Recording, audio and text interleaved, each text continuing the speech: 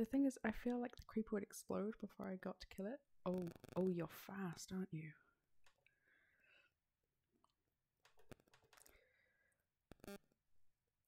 Oh, there's a husk. There's a husk. I don't know what to do. Oh god, I'm in a hole. I'm in a hole.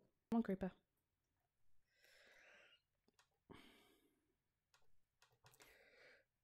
No. Ooh, ooh, that was bad.